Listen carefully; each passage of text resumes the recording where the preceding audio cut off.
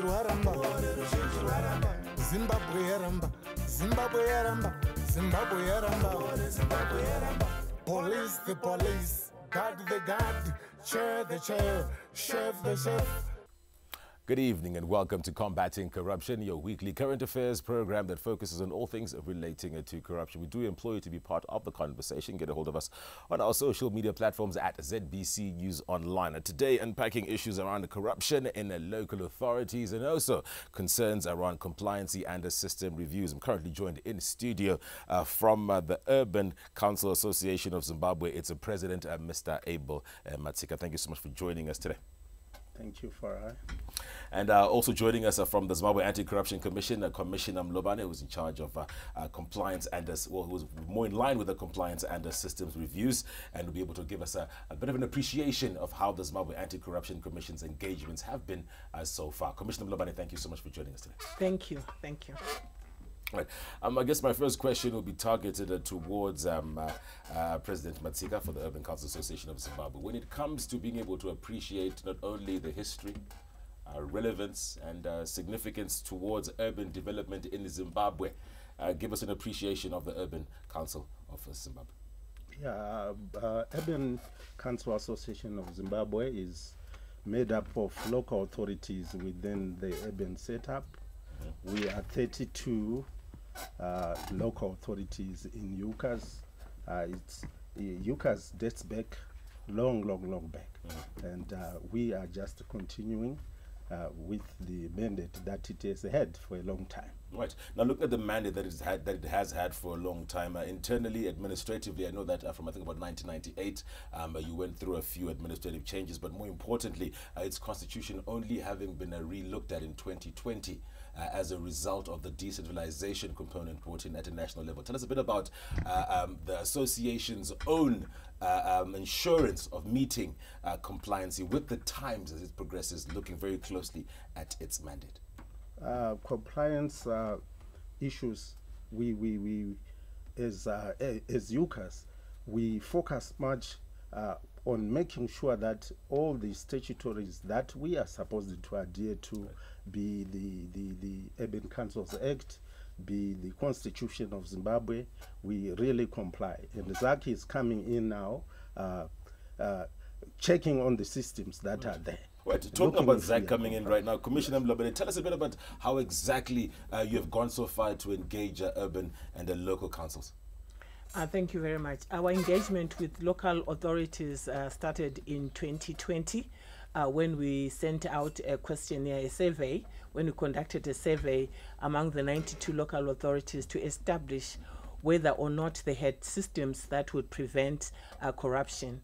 Uh, we with the specific questions that we asked them to find out in terms of corporate governance to establish whether corporate governance was strong enough to prevent uh, certain corrupt practices. And the result um, of the questionnaire was that we established that there were a number of policies that were missing in their toolkit, and we therefore developed a prevention of corruption toolkit which we then used to as a guard as a measure to find out how compliant uh, they were towards uh, preventing corruption. And then in 2021 last year uh, we engaged all the 92 uh, local authorities. We met with the internal auditors. Uh, we met we, first we met with the internal auditors from uh, rural district councils. And then we then met afterwards we met with the uh, internal auditors from the urban councils it was our engagement with the internal auditors that we established a number of issues.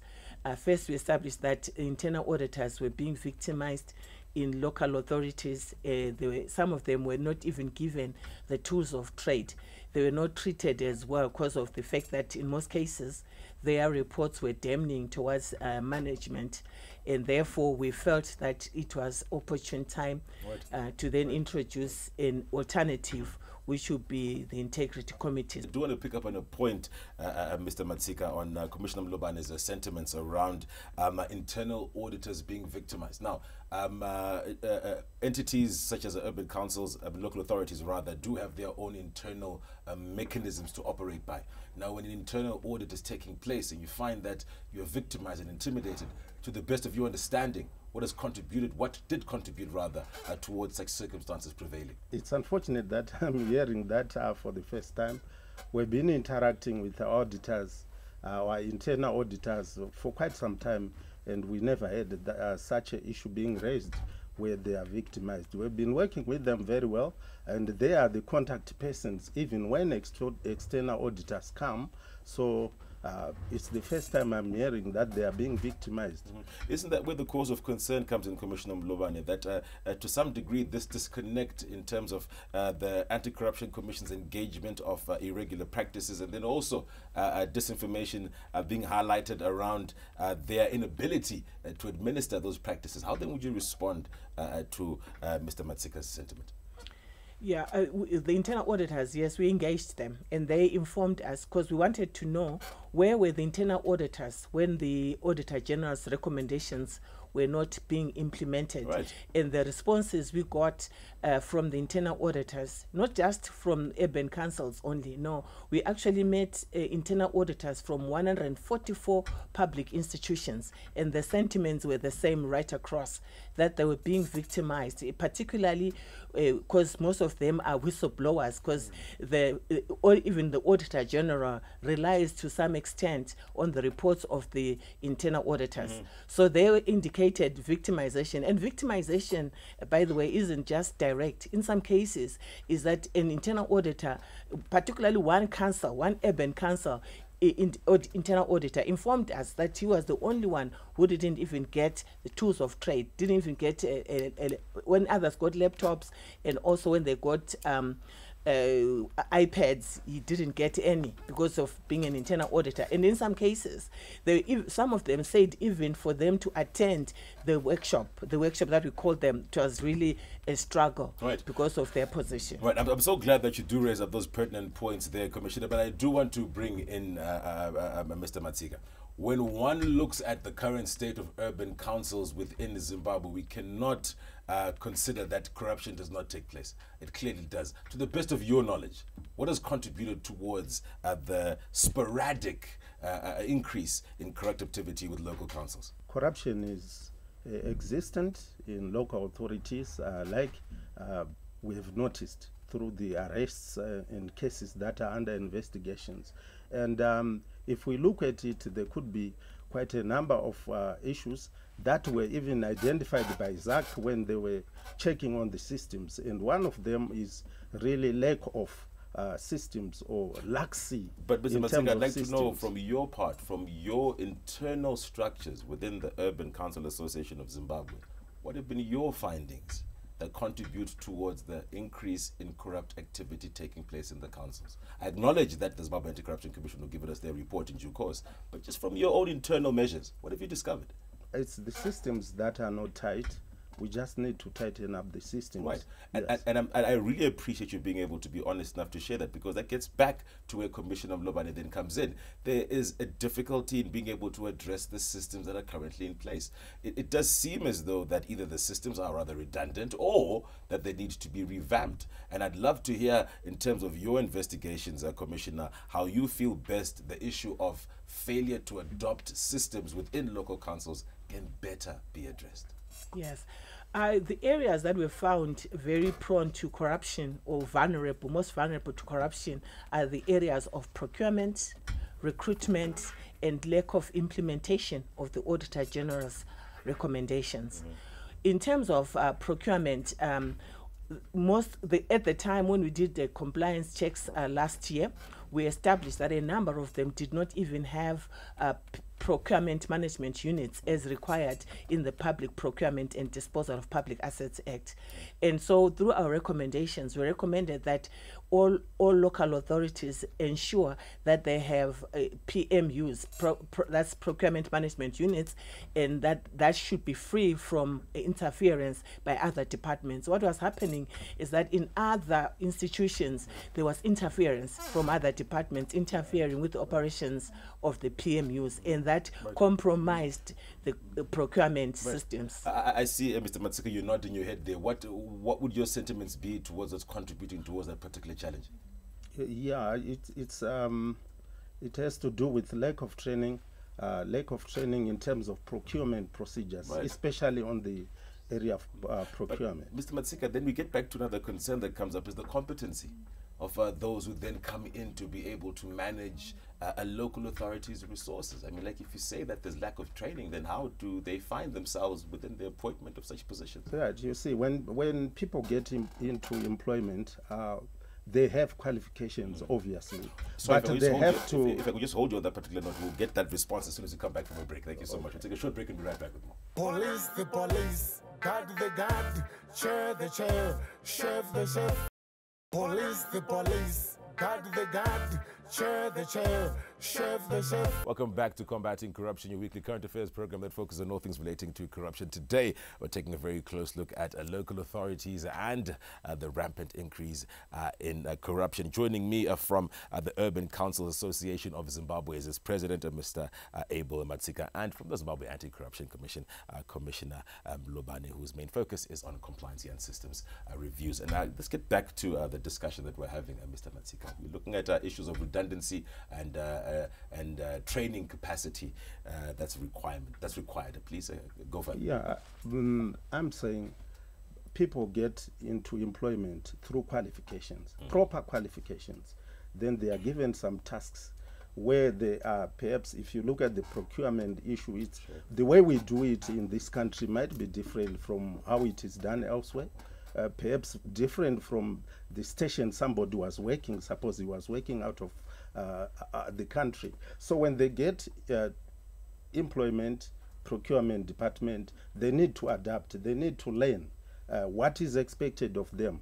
What are the prescriptions of the procurement act of zimbabwe all those things so they have to learn it's a learning process I'm, I'm, I'm- glad that you, you go so far as to express uh, as much as you have, uh, Mr. Matsika, because Commissioner Mlobane, you can clearly tell that um, there, there, there- there's, there's a rampant uh, inability for us to have capacitated individuals who are running within the local authorities. Um, that seems to be where uh, the Urban Council Association of Zimbabwe is focusing the problem on. Um, your findings in relation to that? In terms of procurement, um, the Pro- Public Procurement and Disposal of Public Assets Act is a very comprehensive act and it compares favorably with other acts, similar acts uh, in the region and on the continent. We've done a research on that.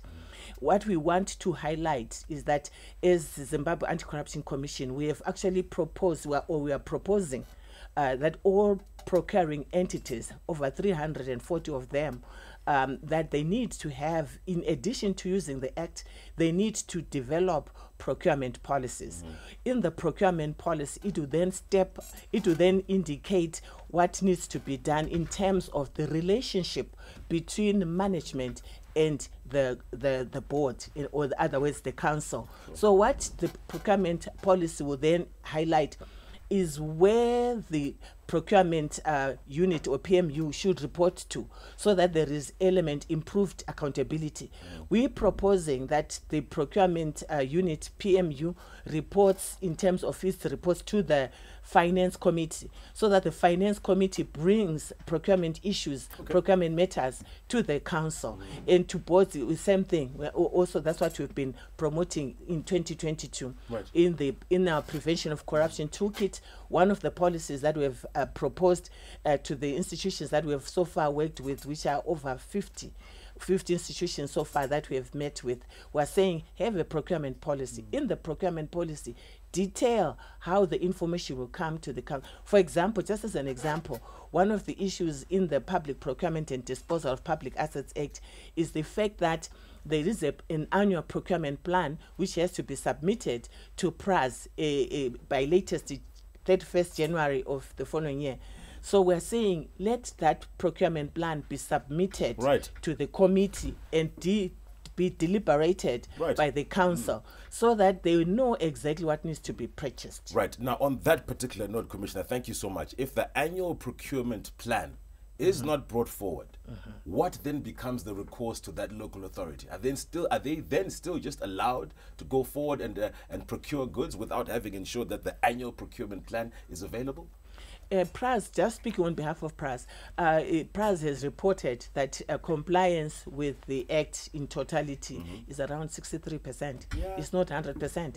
So, not every institution is compliant in terms of submitting their annual procurement plan uh, to PRAZ. So, we have the issue of the fact that they might not have submitted their annual procurement plan to PRAZ. And then the second issue is that the governing body itself might not have had sight of the procurement plan. Right. Now, looking at some of the concerns that have been raised by Commissioner Mloba and Mr. Matsika, it seems as though that for city councils or, or for local authorities rather to be able to ensure that adequate service delivery is administered, how then can they do so without even being able to access the resources available to them through procurement plan initiatives? It's a tricky one, but we, we take on board uh, the suggestion and proposal that is coming from uh, ZACC, having noticed uh, how lax the systems are in terms of procurement.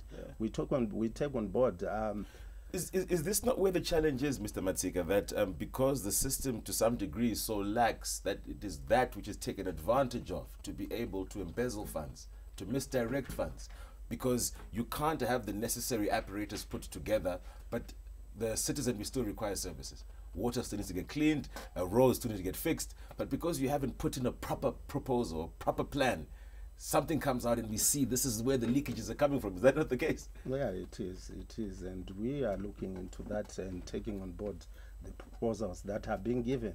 Uh, but um, I've also taken note of uh, the proposal that is being being given, and I would uh, perhaps propose that ZACC have a thorough look at the Urban Councils Act, so that uh, whatever proposals that they have should dovetail into the Urban Councils Act, and we we, we won't be found in sixes and sevens because in some instances they come to arrest us for having flouted the Urban Councils Act. So I've heard uh, say uh, we the, the procurement unit has to has to report to the finance committee then to council.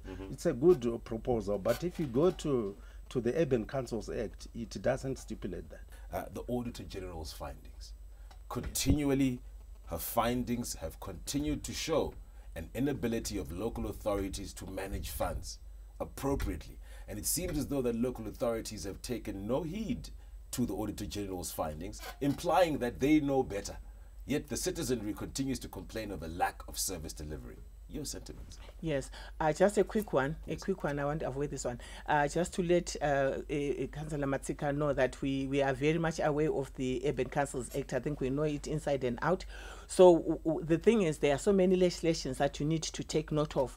We have the Public Finance Management Act. You have the Public Procurement and Disposal of Public Assets Act. You also have a PECOG, which of course doesn't apply to them. But all this, and also there's the Criminal Codification Act, sections 170 to all the way to 174, which criminalize certain acts, and uh, including bribery, uh, uh, including uh, concealment of a transaction where you have a personal interest, concealing your interest from a principal, etc. So those are some of the things that we then take into account. So over and above what the Auditor General would have highlighted, Auditor General looks at the integrity of the financial statements, whether they reflect a true and fair view or not, and then the, she will give in her opinion in terms of those uh, those uh, findings. In terms of her findings, what we have observed from the Auditor General's findings is that there is a, a gap in service delivery. She points out issues of fi- of, of service delivery that uh, they are being shortchanged, and it goes all back to planning,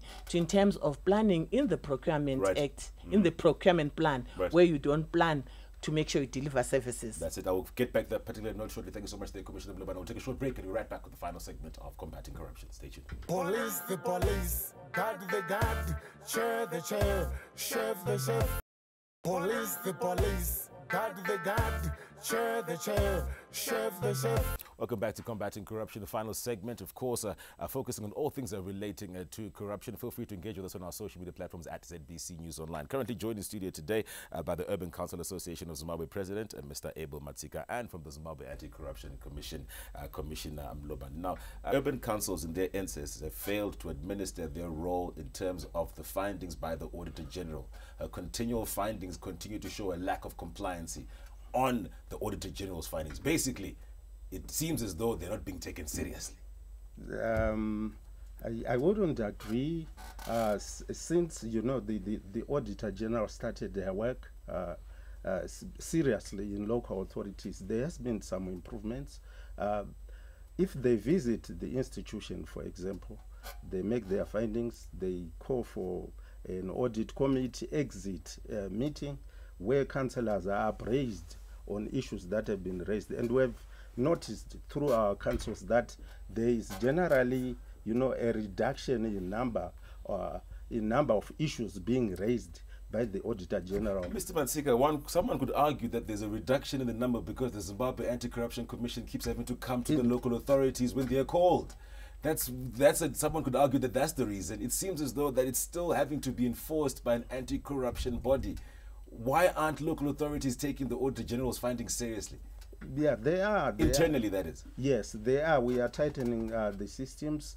Uh, we are making sure that we adherence to the systems. Uh, Let's look at it this way, yeah, Mr. Matsika, just to be able to also appreciate that I do understand you speak on behalf of urban councils, yes. um, but I also want to be able to be clear that you don't also hold a mandate to operate on all their behalfs. However, in being able to follow your mandate within the organization, which is a lobby, right, be it government, to ensure that there is compliancy with all councils despite where they are in the country. Why is that then not being done? And if that is being done, please explain to me how so. Yeah, that's uh, being done. It is being done. Uh, what local authorities are doing now, uh, they've set amongst themselves a, a, a, like uh, a club where local authorities uh, visit each other, advise each other, check on the systems, uh, compliance issues. So let's look then at what you improve. advise each other about the Auditor General's findings. What do you advise amongst yourselves about her findings? How, how amongst yourselves do you decide to address the issue of her findings?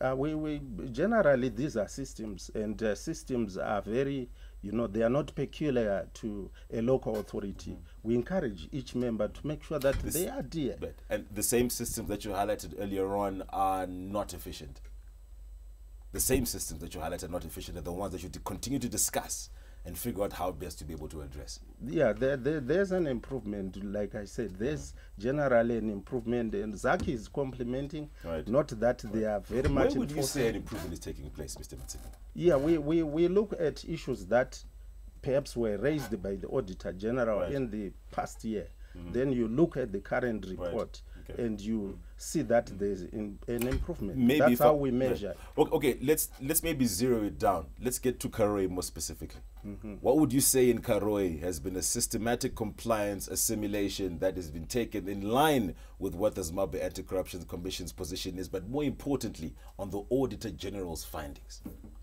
Yeah, uh, the Auditor General, for Karoi in particular, raised quite a number of issues in the audits that that were done previously. Mm. We looked at them.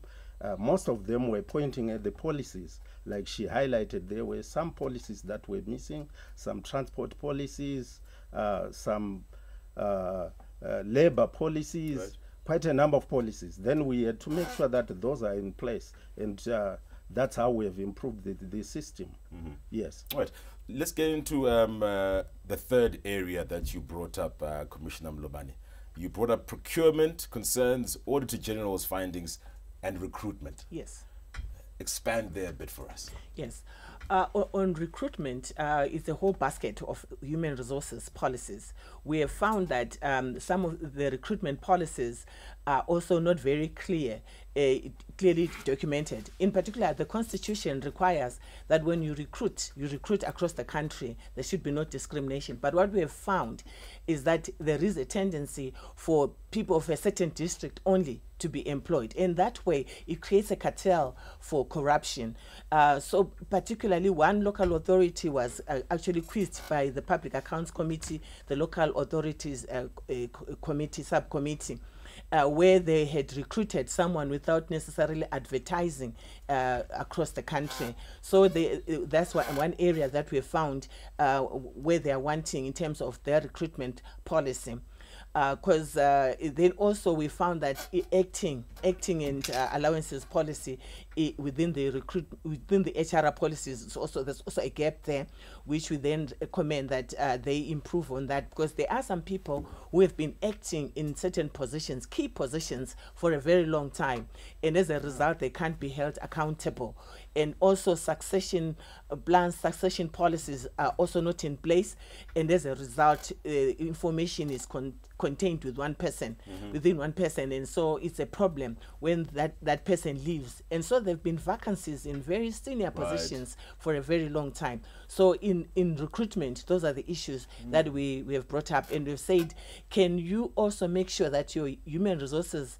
uh, committee has included in in the in their uh, charter uh, or terms of reference areas that will then reduce uh, co corruption in recruitment. Right, Mr. Matsika, would you be of the opinion that uh, corrupt activity contributes towards the sabotage of uh, access to service delivery within any council? Yeah, indeed. The concerns that Commissioner Mlobane raises with the loopholes that come up around ensuring that there are inefficiencies by virtue of not filling in positions seems to speak to a manner in which contributes towards corrupt activity taking place. Since you agree, how are you addressing that particular issue?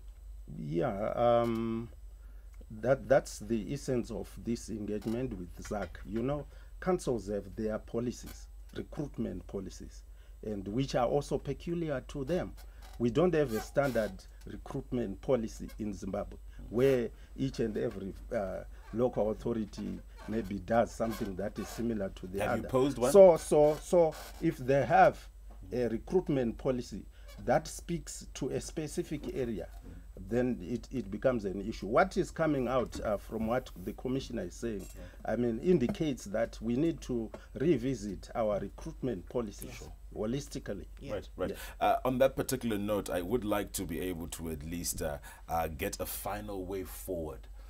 The biggest concern with local authorities are around service delivery the citizenry's concerns is that their contribution towards uh, uh, uh, local authority revenue speaks to a service delivery that they're meant to receive.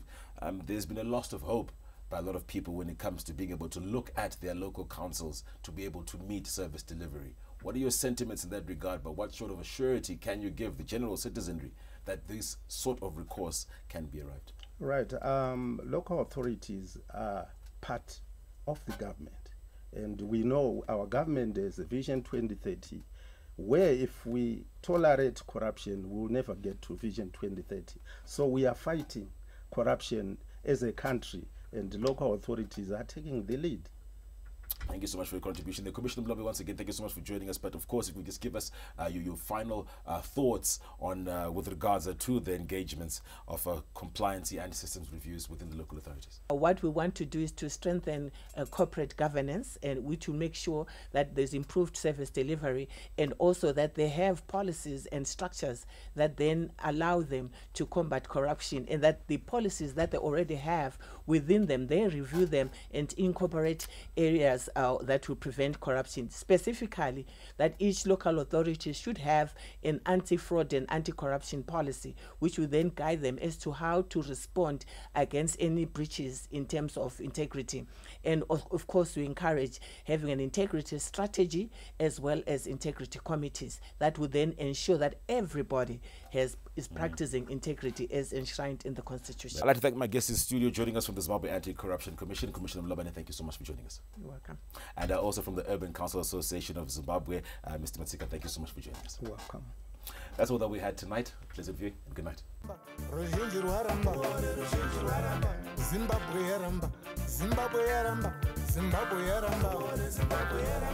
Police the police, guard the guard, chair the chair, chef the chef, save